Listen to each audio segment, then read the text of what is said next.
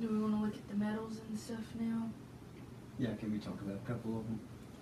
Uh, that's a, that's the second highest medal you can get right there.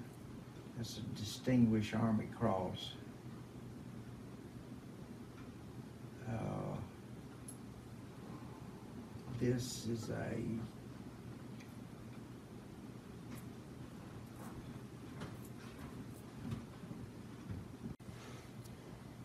This is a Distinguished Army Cross.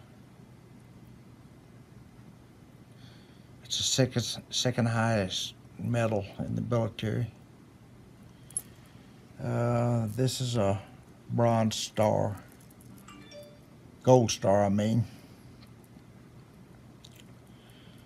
I have four of them. So what do those mean?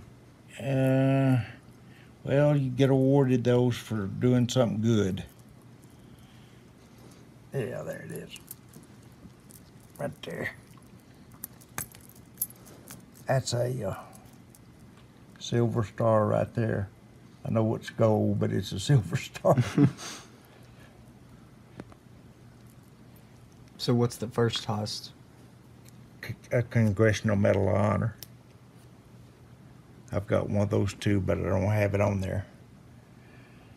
Uh, this is a senior inf- infantry badge. Uh, this is a fifth group airborne badge. And of course, this is special forces. Anybody that's in special forces, that's just our general crescent. So what's the writing under here? Uh,